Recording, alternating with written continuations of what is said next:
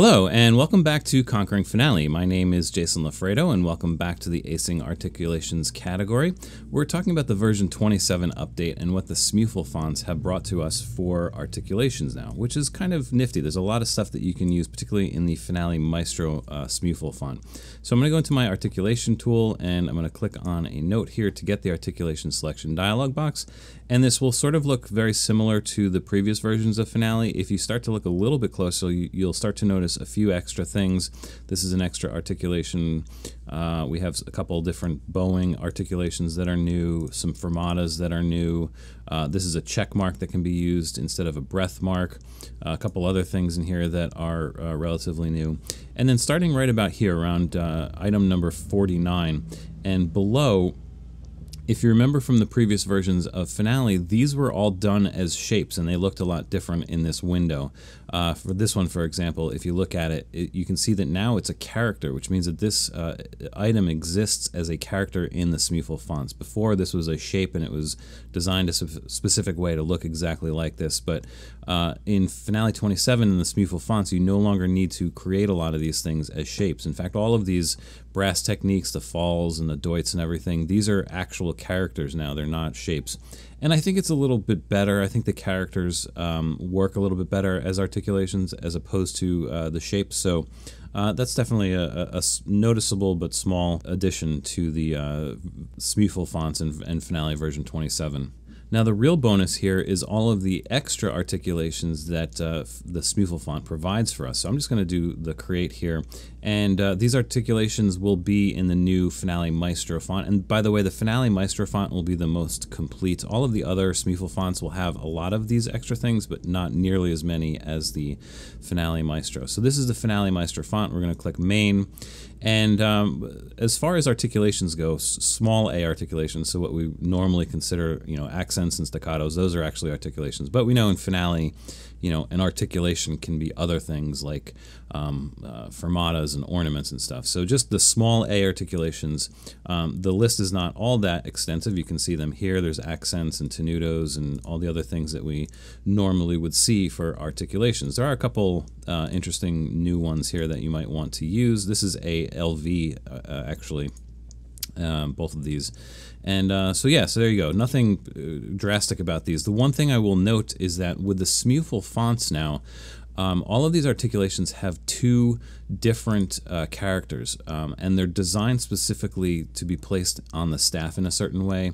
And the accent, for example, has this is called accent above, and this one is called accent below. This has to do with the handles and where they are in relation to the notes. So in the SMuFL fonts, it's kind of important to make sure that you set up these articulations correctly using two different ones within the uh, the main symbol and the flipped symbol. Before in Finale 26, it was just one symbol that you selected and then put it on either side. But um, with the SMuFL fonts, it works a little bit differently, so you definitely want to use um, uh, the pair of them if you're going to uh, uh, choose one of these other articulations here. Other than that, the small a articulations, there's not that many more of them. There is some medieval Renaissance articulations in one of these categories. I believe it's this one. Um, so if you're doing uh, some chant notation, you have some special articulations uh, for that as well as I said in finale, an articulation covers more than just articulations. There's ornaments as well. So let's just take a look at some of those. And in this category, we're looking for common ornaments here. And you'll see basically the common ornaments, including a few things that we may not have had before or had to go outside of the, the main font to get. Like we have uh, these turns and different versions of these turns and vertical versions of these turns, a couple different mordents here, um, and this special Haydn ornament here, uh, and just a couple other things. These are the common ornaments. There's another category here, if I can find it, called Other Baroque Ornaments where is it? Other Baroque ornaments. And so this is uh, some things that you may need if you're doing Baroque music. Um, these are special ornaments for that. And then there's one other category called pre-composed trills and mordents. Here we go. And so now in this category, we have a whole bunch of different ornaments with all kinds of fancy things uh, to the left and right. If you know exactly what these are and how to use them, this will be really handy. You can see how many of these there are. In addition to ornaments, you saw before that there were some fancy fermatas. Uh, Finale and or the SMuFL spec uh, calls those holds and pauses. So if you find the uh, category for holds and pauses, there it is, um, you'll see your fermata. And again, there's a, an above and a below, although that's actually the same from the previous version. So, uh, and then you also have the special different fermatas, and these are all have descriptions above here if you don't really know what they are. Very short fermata above. This is short fermata below, etc. I believe that's long fermata above. Um, so a bunch of different uh, options here for your holds and pauses. There's your check mark, a couple different types of caesuras, um, and then this uh, special guy here, the, the breath mark with the, the fermata arc over it. So that's kind of cool too. We have a bunch of different uh, holds and pauses to choose from as well.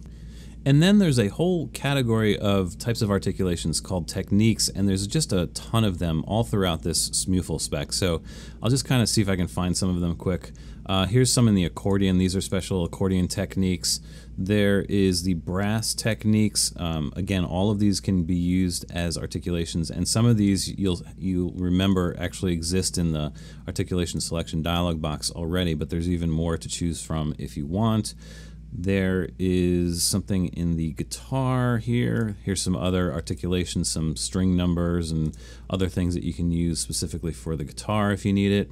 There's a category of handbells, and uh, some of these symbols can be used as articulations. Again, a lot of these symbols, you know, you have to decide whether or not you want to use them as an articulation or an expression, depending on how it's going to fit in with your score and what the purpose of it is. But uh, you know, some of these things can be definitely used as articulations. Um, harp techniques, the same sort of thing. Um, here's your pedals, which is probably work better as an expression, but there's some other things that might work well as articulations. Uh, there's keyboard techniques. So again, you got your pedal markings, a couple different ways to do the pedal markings. There's a, a sostenuto marking, which is nice um, some half uh, closed pedal markings or whatever, just a bunch of stuff here. Uh, including what I kind of like here is the, the brackets for, you know, play with right hand, play with right hand end, play with left hand, play with left hand end. Uh, this is definitely a, a, a, good addition in the SMuFL font. In fact, let me just get out of here because I want to show you this other file where I actually created those already uh, to show you how to use these and uh, how I created these because I think there's a, a, a, good way to use these. Um, I have them down here. And the way that I created these, I have these set. Um, so in this one, I have the main symbol and flip symbol being different, but I'm only using the main symbol for both. And I don't have anything checked here, and I have manual selected essentially this is just allowing me to kind of freeform this position here. The next one, by the way, is just a duplicate of this, except I use the flip symbol for both above and below, so I'll always get this version of it. So you can kind of see that I have four different ones of these, and they're completely uh, kind of freestanding, so you can just select one and then move it kind of wherever you want, and it won't jump anywhere, it won't flip, it won't do anything. Um, and you can see how easy that is to just kind of stick in there. And if you want the other one, oops, not that one. If you want uh, this one here, you can do that as well. And again, just drag it to uh, wherever you think it should go. So that's a nice little addition. You don't have to worry about trying to figure out how to do a, uh, a custom smart line and rotate it and all that stuff. Um, so that's a nice little uh, addition as well. Let's go back here uh, do create so I can get back into this symbol selection dialog box. So that's keyboard techniques. There's one called percussion playing techniques. Let me see if I can find that. Here it is. Um, again, some of these things can be really used as articulations, some as expressions, but there's definitely some things that can be done with percussion playing techniques. There is plucked techniques, and again, this is like stuff like snap pizzicatos, uh, buzz pizzicatos. There is the arpeggiated up and down arrows here, which is nice. Now, this is the Finale Maestro font. I actually prefer these from the Finale Engraver SMuFL font because there are uh, three different versions of each of these, short, medium, and longer version of these. Uh, so in this case, I actually prefer the uh, Finale Engraver font. And incidentally, if you're looking for those in the Finale Engraver font, they're not in this category. They're in the alternates and extras category. Just FYI. Um, again, just some other techniques for uh, plucked uh, techniques. Incidentally, the normal roll, let me just show you this. Uh, where is it? This guy here. This exists in the alternates and extras category. I think the reason for this is because Finale handles these rolls in a very specific way, differently than Dorico for sure, and uh, any other music notation program. Uh, it actually just uses this little segment and duplicates it vertically in order to create these rolls. So this is sort of a special uh, case for Finale, which is why it exists in the alternate and extras section and not the uh, the, the other uh, plucked string section. Uh, oops, let's go here, go back here. Uh, there is something for string techniques. Again, you have all these types of bowings, a whole bunch of different things. What is that? Half harmonics, um, uh, overpressure down bow. There's just a lot of nifty things um, that we didn't have easy access to before. It's all within the, the SMuFL font right now, which is really cool.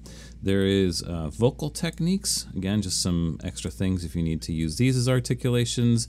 And then wind techniques. Again, uh, these are sort of the same things as the, the jeté techniques in the strings, but uh, you can use these as well. Uh, we have different types of three quarters closed hole type of situations. Um, so yeah, so a bunch of different things uh, for wind techniques as well. In addition to the techniques, we also have uh, tremolos, which are used as uh, articulations in finale. So here's the tremolo category, and you can see you have one, two, and three, but you also have four, five, and uh, different versions of the tremolos. Um, these may be uh, for the purpose of playback, but you know, finale doesn't uh, distinguish between the two anyway at this point. And actually, there is some issue with playback that I'm going to get to later on in the uh, in this video. You've got your Z uh, tremolos, some fancy ones, and some other things. So uh, that's the tremolos category. And then also, I just want to look at the alternates and extra section because there are some things that can be used as articulations here as well. Um, like, here's another uh, bowing type of situation, some other alternate snap hits articulations. Uh, let's see here scroll down past all these clefs. Oh yeah, this is what I wanted to show you. You have all these turns now with the accidentals above and below. So that's really handy too. There's These are just one character now and you have uh, every, I guess, uh, option of sharp, flat, below, above, and everything. Plus you have your alternates type of trills here, um, just a, a, few extra things. And I think that's it within this, uh, within this alternates and extra section. Now, as I mentioned, not everything exists in all of the uh, fonts. So if I just go in here real quick and change uh, the default font from Finale Maestro to, let's say, Finale Jazz, and click OK, and we go into the articulation selection dialog box, you'll even see that some of the articulations that exist in the uh, Finale Maestro just don't exist in the Jazz font. So you will get some of these question marks for some of these other things this is probably those special fermatas, these two guys right here. It just doesn't exist in the finale uh, jazz font. And if we go into create to see what's here, you'll see that the category list is a lot shorter, obviously. And uh, a lot of those things that I showed you, I mean, there are some string techniques, but it's not nearly as as uh, filled out as the finale maestro. So, yes, I mean, you know, there are some extras here and there in all of these fonts, but again, not nearly as much as in the finale maestro font. Now, let's talk about playback because this is kind of a drag right now in version 27.0. Uh, there's two ways that articulations get played back in Finale. The first is that some of these uh, basic articulations, like the staccato and the accent and everything, if you look at the articulation designer, they do have a playback effect here, and there's four, three types of playback effect: uh, attack, duration, and velocity. Um, these types of articulations that have the playback effect baked into the articulation designer, these will still work. So your accent will still work, your um, uh, tenutos will still work, and everything. The things that do not work with the SMuFL fonts right now are things like ornaments. So in the old uh, in, in Finale 26, and even in the non-SMuFL files in 27, the Mordent, for example, you know, you can see that it has no playback effect in the articulation designer, but human playback actually recognizes this character and plays the Mordent. That is, a, is true of all of these ornaments here. The trills, uh, it's also true of the fermatas and also the tremolos, right? These are things that are being interpreted by human playback. So the problem is currently that human playback is searching for these characters in the old non-SMuFL slots. And uh, so, you know, changing these to the to the SMuFL versions has sort of broken the link between human playback and these particular um, articulations that are trying to be interpreted by human playback. This is it just seems like something like they didn't have enough time to fix this yet in the program. I, I know that this is high on their priority list of things to address, but for now it's really really a drag that a lot of these things don't play back. Like the, tr- the trills no longer play back in the SMUFL fonts. Uh, it's it's a bummer that they had to release the program before they fixed this. Uh, it's one thing I, I feel like if they had waited another week to get this done it might have been a better situation. But it is what it is. I know it's high on their priority list, and um, you know, hopefully in the the 27.1 or maybe even sooner, they'll they'll start to address some of these things.